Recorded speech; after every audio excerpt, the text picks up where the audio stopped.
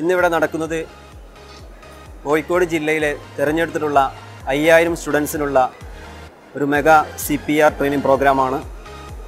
നമുക്കറിയാം പലപ്പോഴും ആളുകൾ കുഴഞ്ഞു വീണ് മരിച്ചു കുഴഞ്ഞു വീണ് മരിച്ചു എന്ന് കേൾക്കുന്നത്.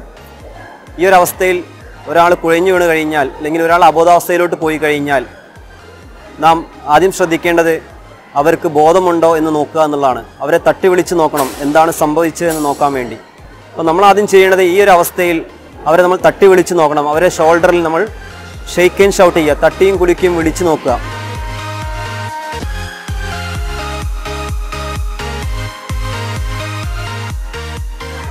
അങ്ങനെ നമ്മൾ വിളിച്ചു കഴിഞ്ഞാൽ ആൾ അബോധാവസ്ഥയിലാണ് എങ്കിൽ നമുക്ക് എത്രയും പെട്ടെന്ന് തന്നെ ഒരാളെ സഹായത്തിനായി വിളിക്കാം.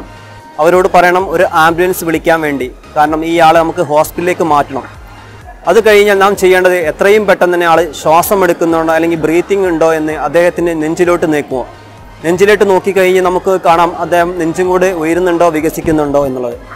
നെഞ്ചും കൂടെ ഉയരുന്നില്ല വികസിക്കുന്നില്ല അല്ലെങ്കിൽ അദ്ദേഹം ശ്വാസം എടുക്കുന്നില്ല എന്ന് മനസ്സിലാക്കുകയാണെങ്കിൽ നമുക്ക് അദ്ദേഹത്തെ ഒരു അനുമാനിക്കാം. അദ്ദേഹം കാർഡിയാക് അറസ്റ്റിലോട്ട് പോയിട്ടുണ്ട് അല്ലെങ്കിൽ ഹൃദയസ്തംഭനമാണ് സംഭവിച്ചത് എന്ന് മനസ്സിലാക്കി എത്രയും പെട്ടെന്ന് തന്നെ സി എന്ന ഒരു പുനരുജ്ജീവന പ്രക്രിയ നമുക്ക് സ്റ്റാർട്ട് ചെയ്യാം.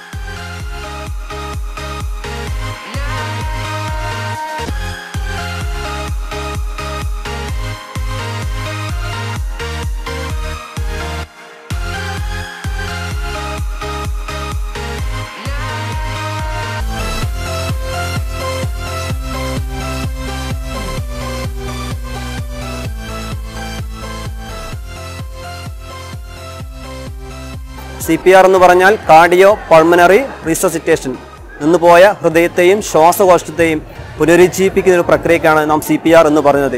എത്രയും പെട്ടെന്ന് തന്നെ ഇത് അദ്ദേഹത്തിന് മേലെ നാം ചെയ്തിരിക്കണം. ഇല്ലെങ്കിൽ സംഭവിക്കുന്നത് ഒരു പക്ഷേ നമുക്ക് ആളുടെ ജീവൻ തിരിച്ചു കിട്ടാം. പക്ഷേ കാലാകാലം ബ്രെയിൻ ഡെത്തായി ഒരു കോമാ സ്റ്റേജിൽ കിടക്കേണ്ട അവസ്ഥയായിരിക്കും വരിക. അതുകൊണ്ട് തന്നെ നമുക്കറിയാം നമ്മൾ തലച്ചോറിന്റെ പ്രത്യേകത. അഞ്ച് മിനിറ്റിൽ അല്ലെങ്കിൽ മാക്സിമം അഞ്ച് മിനിറ്റിൽ കൂടുതൽ ഒരാളുടെ തലച്ചോറിലേക്ക് ഓക്സിജൻ അടങ്ങിയ രക്തം എത്തിയില്ലെങ്കിൽ അവിടുത്തെ ടിഷ്യൂസ് ഒക്കെ ഡാമേജ് ആയി പോകും പിന്നെ പെർമനന്റ് ടിഷ്യൂ ഡാമേജ് ആണ് സംഭവിക്കുക. പിന്നെ ഒരിക്കലും നമുക്ക് പഴയ ഒരു അവസ്ഥയിലേക്ക് ആളെ കൊണ്ടുവരാൻ വളരെ പ്രയാസമാണ്. അതുകൊണ്ട് തന്നെ ഈ ഒരു അവസ്ഥയിൽ ഒരാൾക്ക് റെസ്പോൺസ് ഇല്ല ബ്രീത്തിങ് ഇല്ല എന്ന് കണ്ടാൽ നാം എത്രയും പെട്ടെന്ന് സി പി ആർ എന്ന പ്രക്രിയ നാം ചെയ്തിരിക്കണം. അതിനായി നാം ചെയ്യേണ്ടത് ഈ കുഴഞ്ഞു വീണ ആളെ അല്ലെങ്കിൽ അബോധാവസ്ഥയിൽ പോയ ആളെ നമുക്ക് ഒരു ഹാർഡ് സർഫസിൽ വേണം കിടത്താൻ.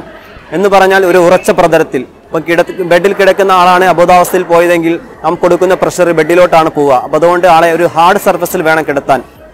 അതിനുശേഷം ആ സൈറ്റ് നോക്കണം. സൈറ്റ് എന്ന് പറഞ്ഞാൽ നാം നെഞ്ചിൽ എവിടെയാണ് അമർത്തി കൊടുക്കേണ്ടത് എന്നുള്ളത്.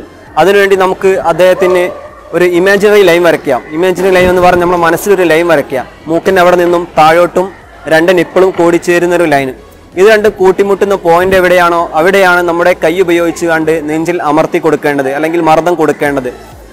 അതിനുശേഷം നമ്മുടെ ഡൊമിനൽ ഹാൻഡ് ഡൊമിനൽ ഹാൻഡ് എന്ന് പറഞ്ഞാൽ നമ്മുടെ ശേഷിയുള്ള കൈയുടെ ഹീൽ ഉപയോഗിച്ചിട്ട് നാം പറഞ്ഞ നേരത്തെ പറഞ്ഞ ആ സൈക്കിൾ വേണം വെക്കാൻ. എന്നിട്ട് മറ്റേ കൈ കൊണ്ട് ഇന്റർലോക്ക് ചെയ്ത് പിടിക്കുകയും കൈമുട്ട് വളയാതെ at least five to six six centimetre എങ്കിലും താഴ്ന്ന രീതിയിൽ വേണം നാം കംപ്രഷൻ കൊടുക്കാൻ. അതിന്റെ ഒരു സ്പീഡ് എന്ന് പറഞ്ഞാൽ hundred to hundred twenty per minute ആ ഒരു സ്പീഡിൽ വേണം നാം കംപ്രഷൻ കൊടുക്കാൻ. ഈ ഒരു പ്രക്രിയ നമുക്ക് അദ്ദേഹം ഹോസ്പിറ്റലിൽ എത്തുന്നവരെ അല്ലെങ്കിൽ നല്ലൊരു വൈദ്യസഹായം കിട്ടുന്നതുവരെ അല്ലെങ്കിൽ അദ്ദേഹം ആ, ആ, ബോധമുള്ളൊരു അവസ്ഥയിലേക്ക് വരുന്നത് വരെ നമുക്ക് ഈ ഒരു പ്രക്രിയ തുടരാം.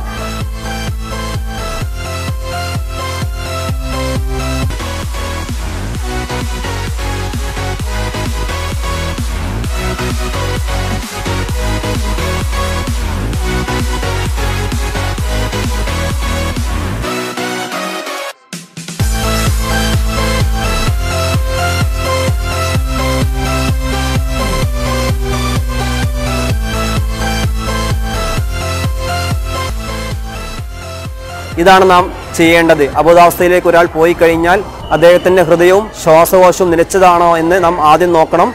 ഇല്ല എങ്കിൽ ഈ നേരത്തെ പറഞ്ഞ സി പി ആർ കാര്യങ്ങൾ നമുക്ക് ചെയ്ത് അദ്ദേഹത്തെ ജീവിതത്തിലേക്ക് തിരിച്ചു കൊണ്ടുവരാൻ സാധിക്കും.